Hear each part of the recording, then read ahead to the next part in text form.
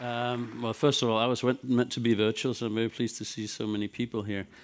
Um, I'd love to have it be interactive because I'm going to say a lot of stuff that's going to probably sound somewhat nonsensical to some of you. So please raise your hand if you disagree.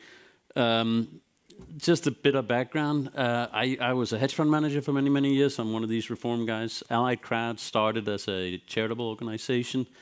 We try to do uh, data and technology for uh, development organizations like UN, World Bank, IFC, and so forth. About two years ago, we went into the carbon offsetting space, and it's a bit of a, uh, an interesting story. We were doing some work for UN in Burkina Faso, and there was a coup, and there's just been another one.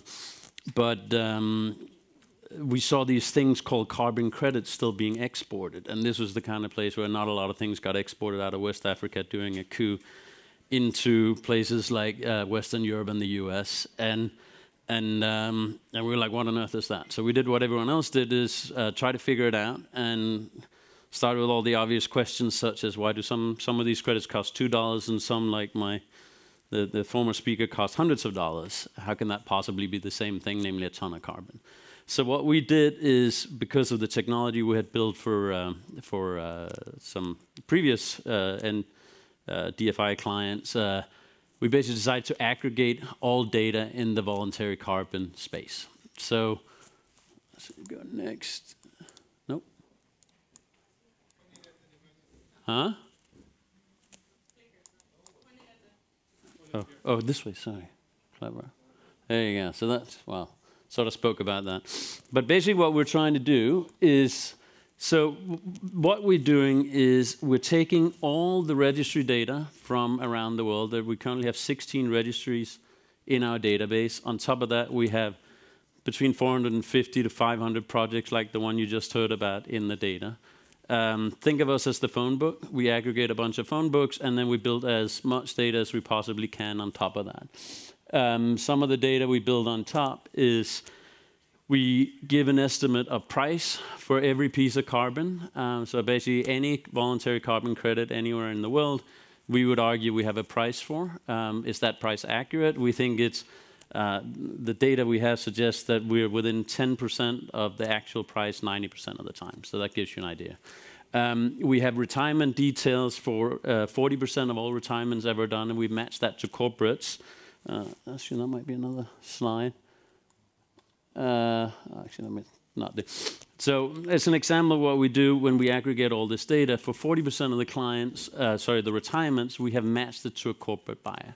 What that practically means is that I don't know how many of you guys have actually retired a carbon credit, but the way you did it historically, you went to the registry site. In the old days, it was a fax. Now that you have a, you, you'll have an account, and you type in what you want to say in the retirement uh, account. Now, 60% of the time, it'll say the name of the broker, or it won't say anything.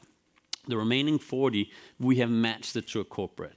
A great example is Delta Airlines, which some of you may know is one of the biggest retirement companies out there. But it's actually interesting. So, how do you say Delta?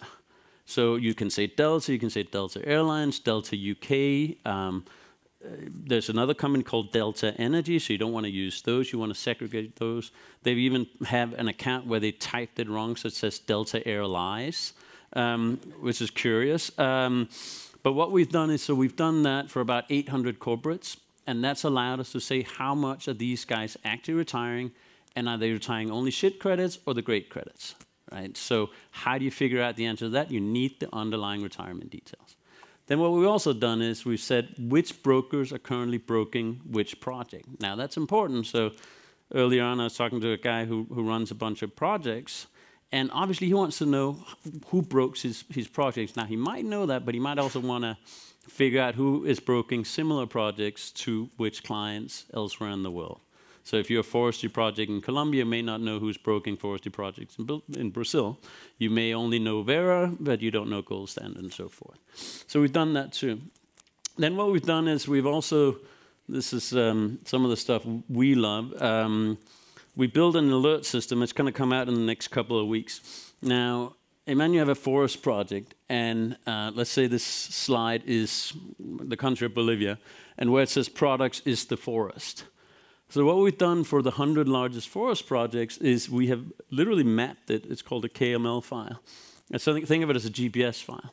And we've overlaid that with meteorological data so we can tell you live within one square kilometer where there are forest fires.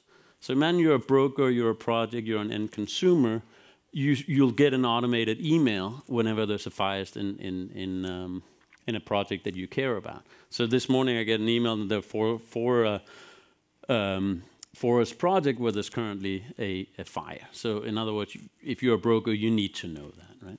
We've also done this advanced document search. What that means is if uh, those of you that are familiar with a lot of the registries, um, uh, it's virtually impossible to search for stuff. So for example, uh, actually the way we came up with it was the Tour de France, the, the cycle race, were interested in offsetting some carbon. They were kind of keen to do with something that had to do with bicycles. And lo and behold, there is a bicycle related project somewhere in the world. And how do you actually know that? Well, you got to be able to search a shit ton of documents. So we have um, thousands and, well, 5,000, I think we have more now, uh, documents where you can actually search the underlying documentation. You can also use it for slightly more complex stuff. If you search, for example, for IRR, um, that will tell you that there's a project where um, where there are projections. Because what else? Why else would you say uh, capitalized IRR in in in uh, your PDDs? So all this kind of stuff we do now. The reason the former uh, speaker's project is interesting is because when you look at all this. Um, well, think of it as the cutting edge stuff. So why are, why are people not in one of the 16 registries? Very often it's because it's frontier technology, it's not yet been proven, the methodologies haven't yet been created and so forth. So we started aggregating those, those uh, credits also. The reason that's important is because if you're a buyer of those credits, if you think about it right now, the way it works is you might say, um, for example, if you're Starbucks and you want to go carbon neutral, you go buy a ton of credits. Sorry, that's a bad phrase. You buy a lot of credits. Now you're Caffè Nero and you do the same. Right now, there's really no way of measuring how much was spent by those two companies. So this comes back a little bit to the bias stuff I was talking about earlier. And, and we can now uh, document who has spent what on which credits. The reason that's important is you can no longer get, get away with buying shit credits. But similarly, if you buy the super high-end credits, like the ones you just heard about, they can cost hundreds of dollars or thousands of dollars in some cases. But as a corporate, what's your incentive to do that? If all you're trying to do is to say, we are the coffee chain that's carbon neutral, right? You need some sort of an incentive to do that. And we're trying to give that to the various buyers around the world by actually pointing out the ones that, um, that are buying the high quality uh, credits. Actually, I, I wonder, does anyone have a wild guess who the best buyer out there is? So the buyer that is defined as the one that has spent most money per ton of carbon.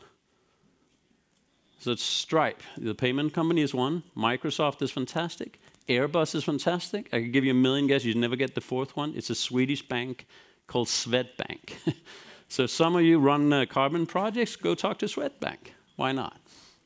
All this data, um, that's what we do. Uh, we'll keep piling data on top. Uh, we sell subscriptions to our data, and um, I'd uh, encourage you guys to, to give it a dry run. Uh, and then, um, yeah, any questions, by the way?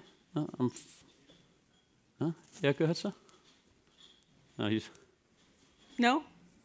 when you say you take everything from the register, the But- underlying asset in the registers, is somebody doing the compliance on that before you take? Oh, that's a good point. I should have said that. So we work with all the ratings agencies. So we aggregate all the ratings agencies on our platform, which, by the way, one, this is the old nerd, in, well, not, forever nerd in me. If you do a scatter diagram today and you take all the ratings versus all the prices, what do you think the correlation is? It's absolutely zero, right? Isn't that shocking? So at least do the thing, do a regression line and buy the ones above and don't buy the ones below. yeah, well, yeah. Anyhow, so we aggregate. Look, I'm saying I'm the phone book. I, I don't evaluate, um, but obviously we need the ratings agencies, so we work with all. There's six of them on our, on our platform, and if you um, there's a new one starting up, we'll have those those also soon. We, we do, yeah. There's, I mean, there's more data than you can ever. We give it. We give our data to the ratings agencies and the projects for free. We want them to use it, right? We also want to be known if it's wrong, which it is sometimes, of course. So anyhow, that's it. Thank you for your time. Thank you very much, Lars.